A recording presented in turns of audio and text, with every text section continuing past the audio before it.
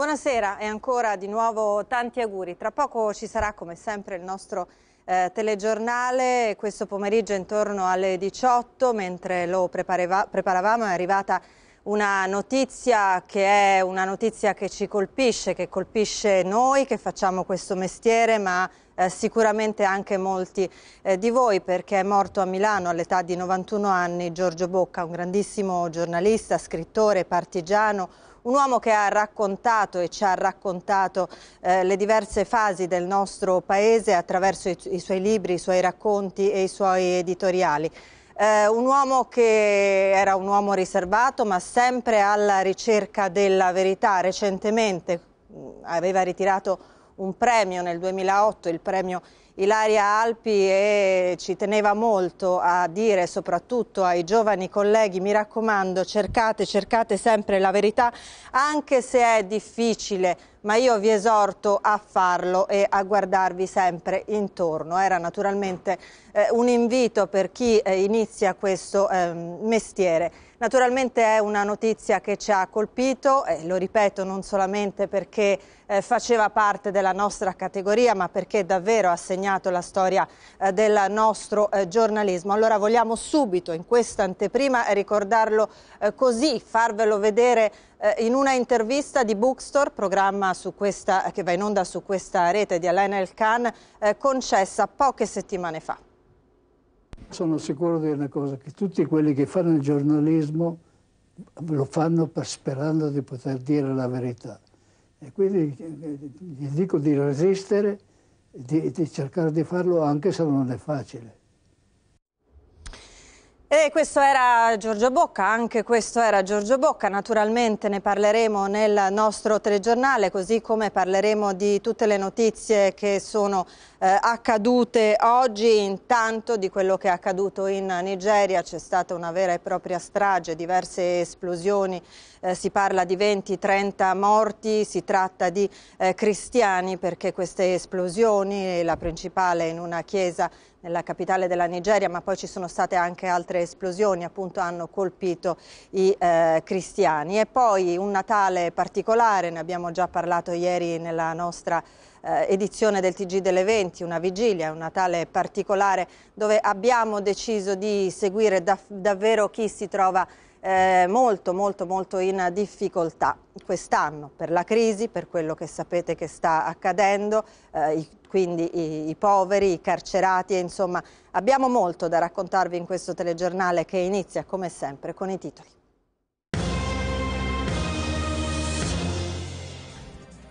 Natale di sangue per i cristiani in Nigeria, il paese africano funestato da una raffica di attentati, tre bombe esplodono in due chiese provocando decine di morti tra i fedeli.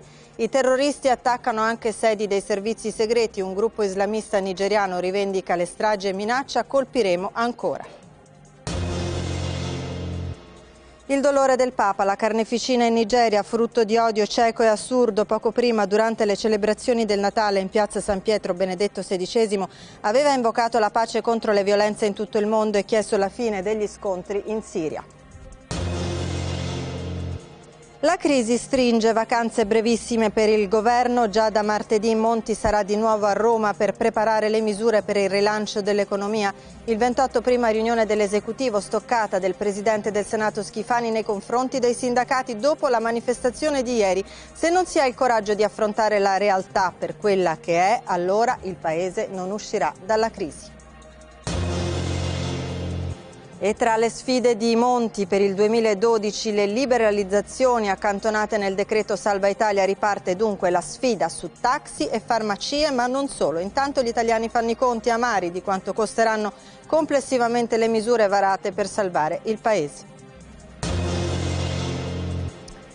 Si ripete da 29 anni ogni Natale, ma quest'anno il tradizionale pranzo di solidarietà della comunità di Sant'Egidio ha qualcosa di speciale. Il suo fondatore, Andrea Riccardi, è infatti ministro con questa crisi. È un Natale duro, dice, però sento che in questo paese c'è una profonda e spontanea solidarietà. A 91 anni è morto nella sua casa di Milano Giorgio Bocca, una delle firme più importanti del giornalismo italiano. Era nato a Cuneo nel 1920, dopo l'esperienza partigiana ha dedicato la vita a raccontare giorno per giorno, con rigore e attenzione, l'Italia, dal dopoguerra ad oggi.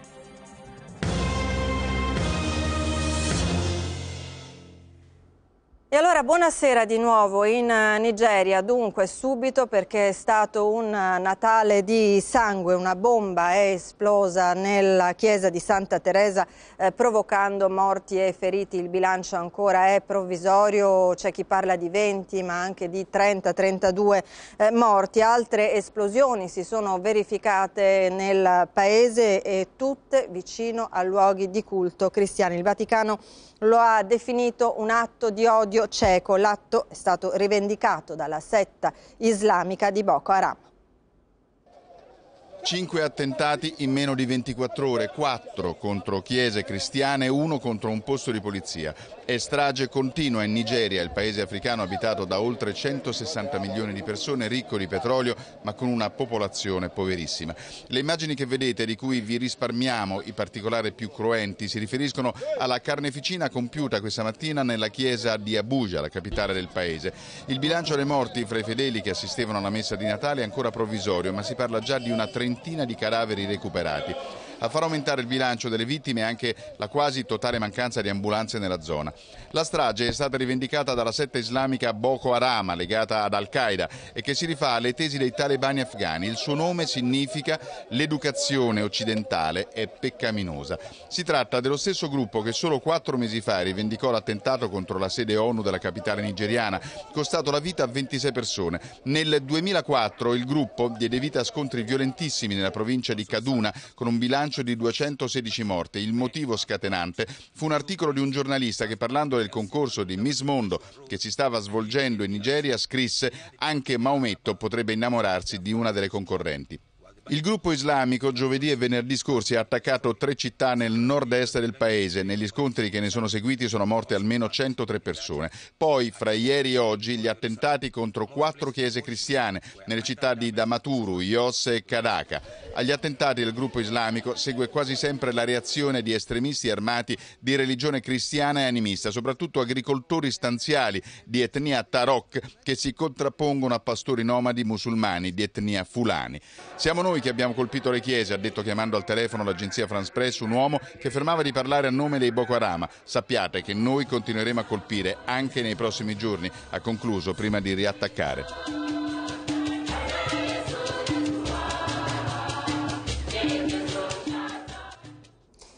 E il Papa durante la benedizione Urbi e Torbi ha invocato pace e stabilità in terra santa. I conflitti e le calamità che hanno colpito il mondo sono state al centro delle preghiere del pontefice.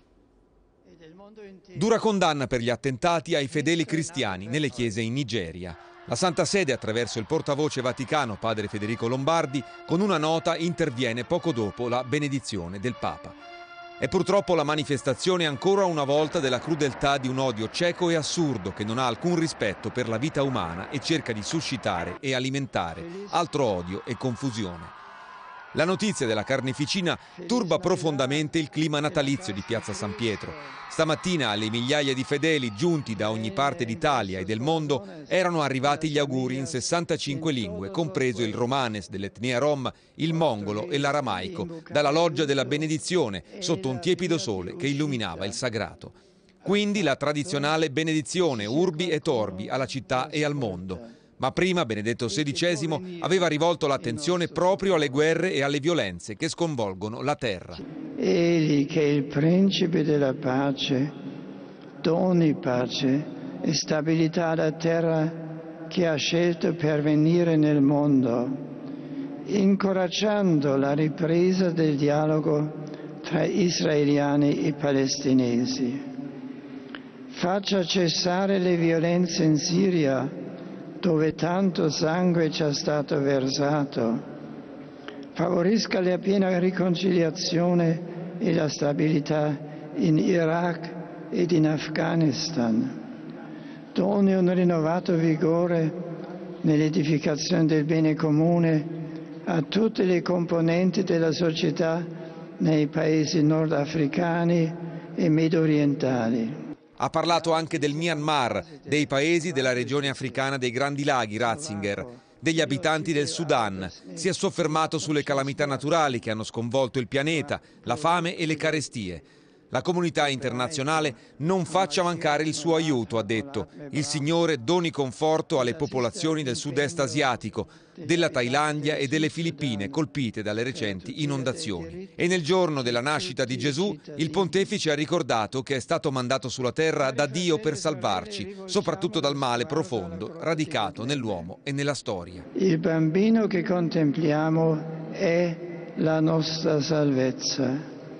Lui ha portato al mondo un messaggio universale di riconciliazione e di pace. Pochi giorni di vacanza anche per il mondo della politica, soprattutto per il governo eh, Monti, al lavoro di fatto fino al 23 di dicembre, alcuni giorni di riposo, ma già da martedì si torna al lavoro. C'è un consiglio dei ministri mercoledì, il giorno dopo giovedì la consueta conferenza stampa eh, di fine anno e soprattutto c'è la oramai famosa e molto attesa fase 2 da mettere nero su bianco. Anno nuovo, fase nuova. Per Mario Monti la pausa natalizia a Milano prelude ad un fine anno di lavoro. Il Premier sarà di nuovo a Roma martedì ed è certa una nuova riunione del governo il 28. I ministri sono già stati allertati. Il giorno dopo Mario Monti terrà la conferenza stampa di fine anno, l'occasione per annunciare la roadmap del 2012 e cioè la fase 2 che dopo i sacrifici del decreto Salva Italia dovrà puntare su sviluppo e crescita e non che il nuovo corso non toccherà temi assai delicati per partiti e sindacati. La riforma del mercato del lavoro sta già scuotendo il PD, mentre le liberalizzazioni sono un terreno più che scivoloso per il PDL. Monti si è dato tre mesi per affrontare organicamente questi capitoli e non certo perché pensi ad elezioni anticipate. L'orizzonte del Premier e lo scorcio di legislatura rimasto, 15 mesi fino alla primavera 2013. Le manovre dei due grandi partiti che sostengono il governo, PDL e PD, che devono fare i conti con i tanti malumori interni, non sembrano preoccupare più di tanto il Presidente del Consiglio. La sua bacchettata pubblica tre giorni fa in Senato, il sostegno che i partiti mi danno in privato è molto più largo di quello che mostrano in pubblico, era un modo di dire che è consapevole dei meccanismi della politica, ma è altrettanto convinto che né Berlusconi né Bersani potranno permettersi di staccare la spina al governo anche perché il quadro istituzionale intorno a Monti è più che granitico. Oltre al capo dello Stato, regista della nascita del governo, i presidenti delle Camere sono schierati al suo fianco.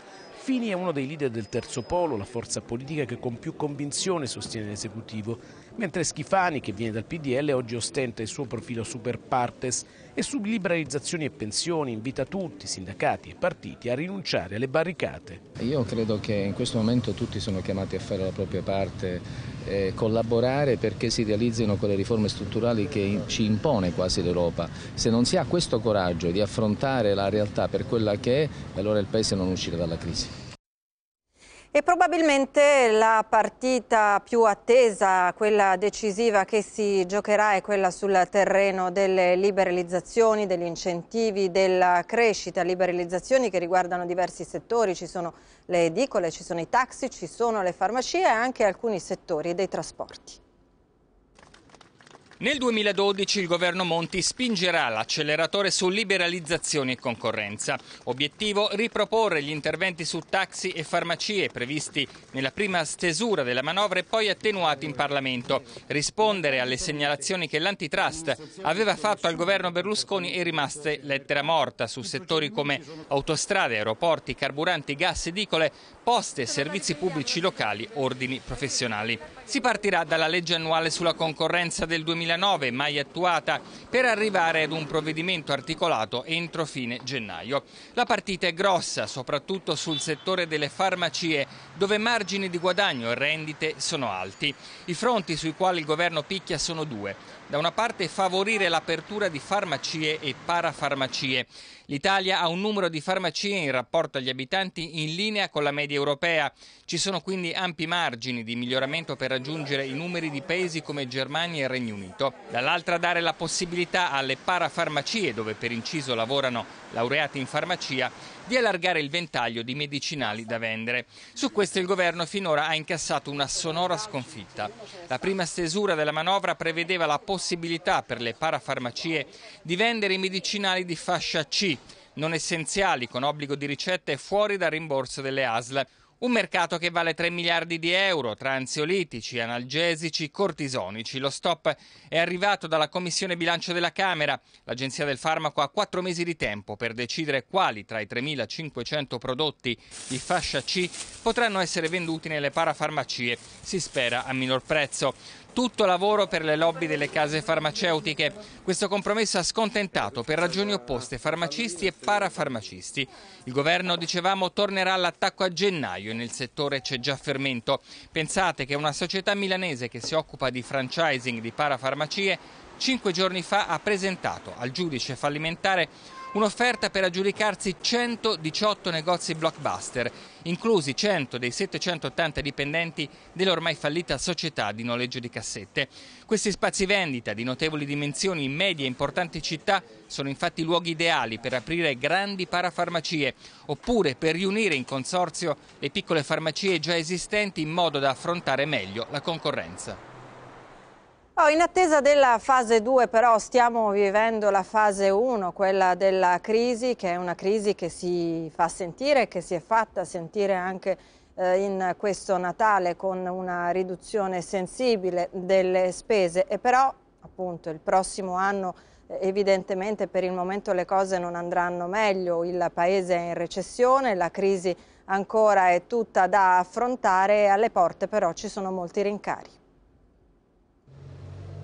Per analisti e sindacati il 2012 si annuncia all'insegna della crisi con perdita di posti di lavoro e del potere d'acquisto causa l'aumento di tasse e balzelli che aggraveranno il costo complessivo della vita. In media, denunciano le associazioni dei consumatori, ogni famiglia potrebbe spendere 1.129 euro in più l'anno. I primi evidenti segnali di quello che ci aspetta si sono già avuti alla pompa di benzina, dove immediato si è tramutato il decreto sulla finanziaria varato dal governo. I prezzi di verde e gasolio hanno scalato vette raggiunte che già oggi riportano i calcoli del Codagons. Influiranno per 219 euro in più l'anno per le auto di media cilindrata benzina e 239 per quelle diesel. Il canone RAI costerà 112 euro, un e mezzo in più rispetto al 2011, ma questa volta si potrà rateizzare. L'aumento dei carburanti, abbinato al punto percentuale sull'IVA già approvato dal governo Berlusconi, segnerà l'ennesimo ritocco trimestrale delle bollette energetiche, il quinto consecutivo per il gas e il terzo di fila per l'elettricità. In questo caso, registrano le associazioni dei consumatori, gli aumenti calcolati per una famiglia media saranno di 53 euro l'anno. Benzina e IVA determineranno rincari su tutti i settori merceologici, alimentari in primis, e sui servizi, specie di trasporti urbani. Molti comuni che già avevano attuato i primi rincari, in alcuni casi anche del 50%, potrebbero ritoccare ancora le tariffe, mentre Roma e Torino anticiperanno l'aumento di 50 centesimi sul biglietto previsto a giugno. A Capodanno scatterà l'addizionale IRPEF che varierà da regione a regione in base al deficit sanitario. Anche l'IMU, la nuova ICI sugli immobili, verrà determinata in base ai differenti parametri territoriali. Falsa allarme invece per le sigarette, il loro prezzo non crescerà. Sopra i 5 euro a pacchetto, questa è la stima, crollerebbero le vendite. Al loro posto aumenterà invece il trinciato in busta utilizzato dai fumatori per realizzare le sigarette artigianali a prezzi, almeno fino al 31 dicembre, molto più contenuti. Ma eh, c'è qualcos'altro da segnalare in questo anno che tra una settimana si concluderà nei fatti anche e nei numeri? Perché dal primo gennaio saremo nel 2012, è stato un anno eh, difficile politicamente e con la crisi economica, un anno in cui c'è stato un passaggio, si è passati dal governo Berlusconi al governo Monti, al governo dei tecnici a proposito di crisi, di tempi e di diversità. Monti eh, disse quando presentò la sua manovra eh, l'abbiamo fatta in due settimane quando eh, di solito eh, ce ne vogliono almeno cinque per fare una manovra, ma non fu il solo eh, cambio di passo, anche se in quel caso, come dire, eh, d'obbligo. Si notò anche un diverso stile, una diversa eh, sobrietà anche nella comunicazione. Parleremo solamente quando avremo qualcosa da dire, così disse un ministro, un neo ministro eh, subito dopo il giuramento, però poi dopo le cose non sono andate esattamente così. Qualcuno lo aveva perfino chiamato vuoto mediatico, prefigurando scenari grammi per i talk show televisivi a corto di spunti e possibili invitati.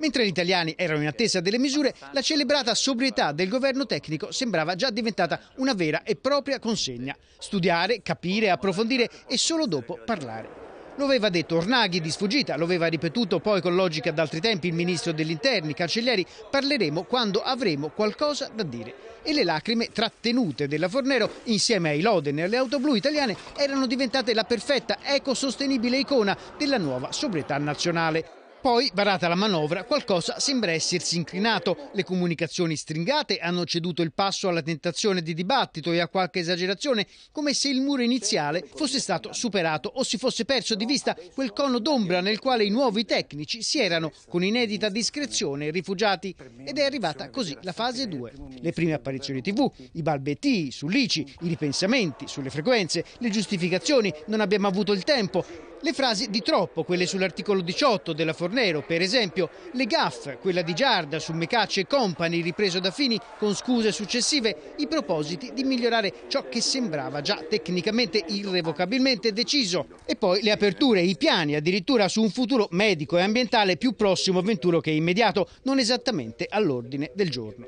con qualche inevitabile ripercussione interna, voci di richiami ad personam e commento del Presidente del Senato Schifani se è vero che Monti ha bacchettato i suoi ministri ha fatto bene, lasciando immaginare che dopo la fase 2 ci potrebbe essere una fase 3, molto simile, almeno dal punto di vista comunicativo, a quella 1. E chissà da quanto tempo, da quanti anni molte persone aspettano la fase 2, la fase 3 o la fase 4 o comunque il momento di stare meglio. Sono tutte quelle persone che da molti anni passano il pranzo di Natale alla comunità di Sant'Egidio. Evidentemente sono persone che eh, vivono eh, periodi di crisi e in povertà. Quest'anno ha pranzato con loro anche il fondatore di Sant'Egidio, Andrea Riccardi, nella sua veste di ministro. È bellissimo, solo essere insieme è molto bello.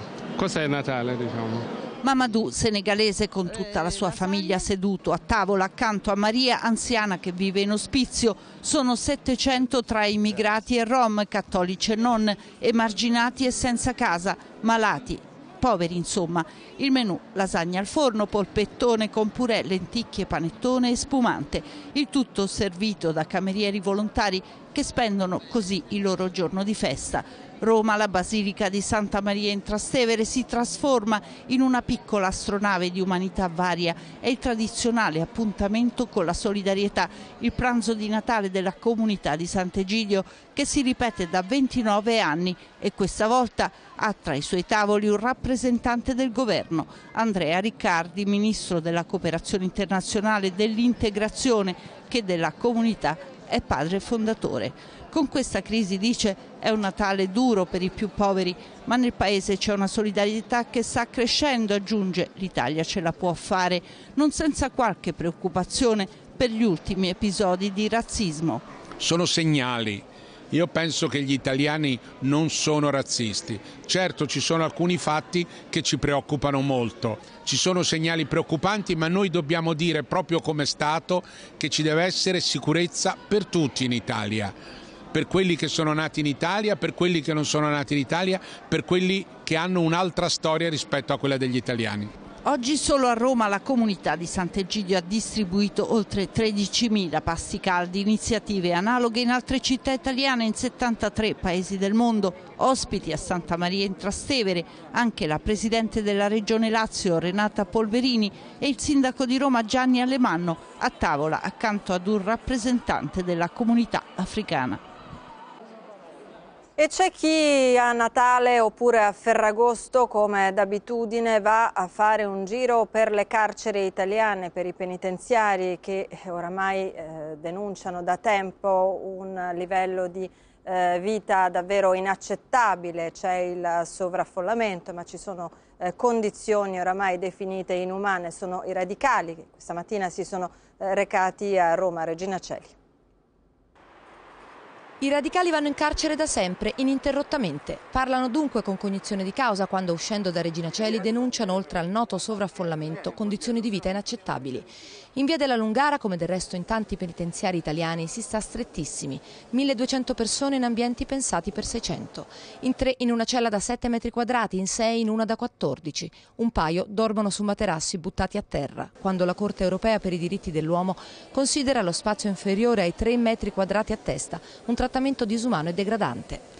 A Regina, si chiama così tra gli abitué del luogo, oltre allo spazio vitale mancano la carta igienica, i termosifoni caldi, le docce e si resta chiusi in cella per 20-22 ore al giorno.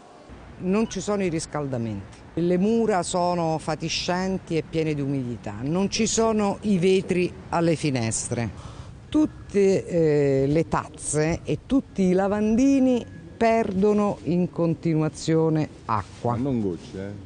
Se vai a farti la doccia, ne funzionano una su tre, e se vai a farti la doccia l'acqua calda non arriva. La realtà dei fatti è che eh, intanto questo carcere dovrebbe essere semplicemente chiuso. In Italia c'è criminalità di Stato e di Repubblica e i diritti umani, quelli semplici, sono assolutamente negati. La meta dei radicali è sempre l'amnistia. Caro Presidente, io la devo vedere, dovremo pure inventare, trovare qualcosa, ha detto Pannella giorni fa dalla sua radio rivolgendosi a Giorgio Napolitano. Né i radicali né gli operatori del settore trovano risolutivo il decreto svuota carceri entrato in vigore l'altro ieri. Peraltro, con gli uffici chiusi per il Natale, nessuno ha ancora potuto beneficiarne. Nelle prossime settimane cominceranno ad uscire i detenuti ammessi a scontare ai domiciliari gli ultimi 18 mesi di pena. In un anno il provvedimento riguarderà il 5% della popolazione carceraria, circa 3.300 persone su oltre 68.000 unità. Il sovraffollamento non sarà alleggerito più di tanto nemmeno con l'iniziativa di trattenere nelle celle di sicurezza della polizia giudiziaria gli arrestati che attendono il processo per direttissima. Non si incide minimamente sulla condizione vergognosa in cui sono costretti a vivere i detenuti, ma è un provvedimento che serve esclusivamente a non superare la soglia di 69.000 persone detenute, soglia oltre la quale nelle carceri italiane non ci sarebbe più spazio neanche per dormire nei corridoi.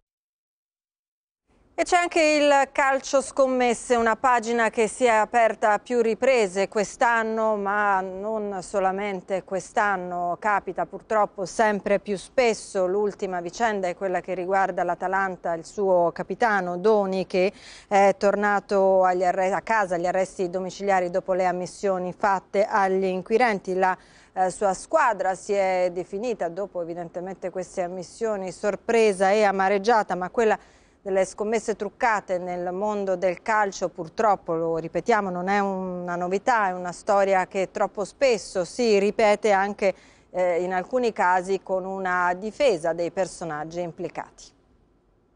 Finora la società e i tifosi lo avevano difeso a spada tratta. Ora che l'ex capitano dell'Atalanta, Cristiano Doni, ha ammesso davanti al giudice delle indagini preliminari Guido Salvini che sapeva della combin di Atalanta Piacenza di avere scommesso sulla gara per interposta persona e di aver inoltre tentato di fare la stessa cosa in occasione della partita contro l'Ascola Bergamo, nei suoi confronti non ci sono più sentimenti di amicizia.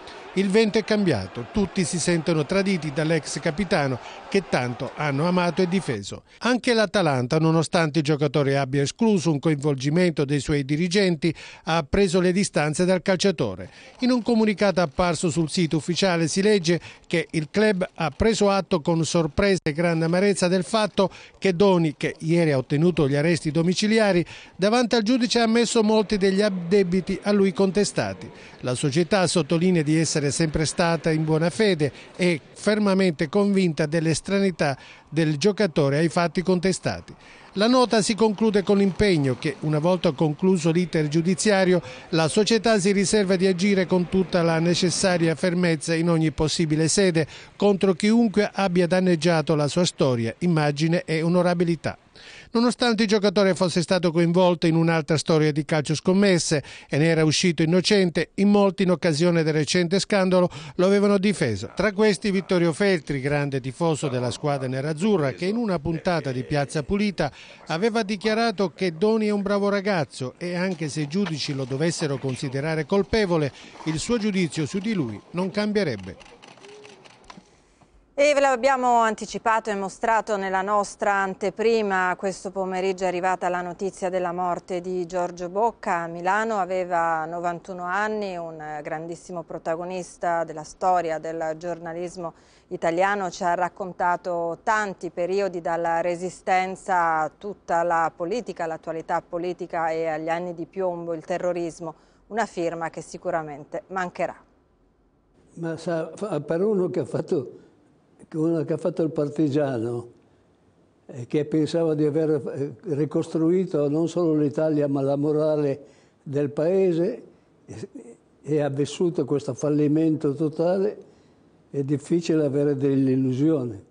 Giorgio Bocca è stato un partigiano. Sulle montagne piemontesi, comandante di una divisione di giustizia e libertà, dopo essersi arruolato con gli alpini. E nei giornali GL, la Gazzetta del Popolo, L'Europeo, Il Giorno e Repubblica, che fondò con Eugenio Scalfari nel 76. Ruvido, sabaudamente rigoroso, pessimista fino al catastrofismo, indignato come può esserlo un giovane vecchio di 90 anni, anti-berlusconiano dopo aver lavorato nelle tv del Cavaliere, no global senza abbracciare i movimenti amante del buon vino e della buona cucina, dello sci e della montagna, un borghese senza salotto, un resistente o semplicemente un anti-italiano, come il titolo della sua rubrica sull'Espresso e come Indro Montanelli, ma senza mai turarsi il naso. Dopo la caduta del fascismo aveva pensato che il modo migliore per tenere in piedi la baracca, come diceva lui, fosse fare il giornalista, non il politico, scrivere e scrivere chiaro, raccontare l'Italia del dopoguerra prima e del boom economico dopo, i delitti di provincia, certe tragedie come l'alluvione del Polesine. Dopo lo sbarco a Milano e all'Europeo era passato al giorno di Enrico Mattei e Italo Pietra, quotidiano d'assalto ma anche di un editore con la forza del petrolio e dell'ENI. Con le mie inchieste mi ero quasi convinto di essere uno che incuteva paura ai potenti. La megalomania dei giornalisti è quasi sopportabile nella sua ingenuità. La verità è che ero il giornalista di Enrico Mattei, del potentissimo ENI, con cui i padroni del vapore dovevano fare i conti. Poi era venuta la Repubblica e la TV con Berlusconi. Aveva raccontato il terrorismo, ma anche la mafia. La sua intervista a testamento al generale Dalla Chiesa poco prima del suo omicidio resta un pezzo di storia del giornalismo. Poi ascesa e caduta di Craxi, l'avvento di Berlusconi, mani pulite, la Lega di cui aveva colto il sapore rivoluzionario degli albori. Quando era sceso all'inferno del Sud l'avevano accusato di essere un razzista nordista, di indugiare sulla plebe di Napoli e sulla mafia di Palermo. Ha venduto due milioni di copie di libri e se ne vantava. L'ultimo, grazie no, uscirà postumo a gennaio. E l'intervista che avete visto nel servizio di Gui Chiappaventi è stata realizzata poche settimane fa all'interno della trasmissione di Alain El Khan Bookstore. Adesso invece andiamo in Russia dove ieri c'è stata la grande manifestazione di piazza contro Putin e contro i brogli per denunciare i brogli delle ultime elezioni. Oggi c'è la replica di Putin che dice ho ancora la maggioranza, ho il sostegno sia come politico che come candidato. Al Natale ortodosso mancano ancora due settimane e solo per la minoranza cattolica a Mosca oggi è un giorno speciale, ma una volta ancora è a cavallo delle festività cristiane che la Russia vive i momenti più cruciali. Tra le 60 e le 80 mila persone ieri sono scese in piazza nella più grande manifestazione dell'era post-sovietica per protestare contro lo scambio di ruoli tra premier e presidente che a primavera dovrebbe riportare alla più alta carica del Cremlino Vladimir Putin e la vittoria del partito di governo Russia Unita nelle elezioni legislative del 4 dicembre, caratterizzate da pesanti brogli. Sul palco sono sfilati tutti gli aspiranti leader di quei partiti che puntano al centro per raccogliere il consenso di una classe media stanca di subire la democrazia fittizia e la corruzione dilagante dell'ormai decennale regime. Una partecipazione di massa raddoppiata rispetto alla protesta del 10 dicembre. Il prossimo appuntamento è fissato a febbraio, un mese prima delle presidenziali e stavolta per Vladimir Putin la campagna elettorale non sarà facile. Per il momento gioca in difesa. Oggi il suo portavoce portavoce ha risposto alla prova di forza dell'opposizione, sia come uomo politico che come candidato al Cremlino, il Premier continua ad avere il sostegno della maggioranza dei russi, recita il comunicato ufficiale. Alla manifestazione mancava l'ultimo leader dell'Unione Sovietica Mikhail Gorbaciov. Proprio il 25 dicembre del 1991 si dimise da presidente. Il giorno dopo il Soviet Supremo sciolse l'Unione delle Repubbliche Sovietiche. Ma da una radio di Mosca ha voluto commentare subito gli eventi. Voglio dare un consiglio a Vladimir Vladimirovich Putin. Faccia un passo indietro. Ha già avuto abbastanza. Due mandati da presidente e uno da premier sono sufficienti. La Russia non ha bisogno di zar. Quello che chiede è democrazia vera vera e istituzioni responsabili. Ci fermiamo per la pubblicità.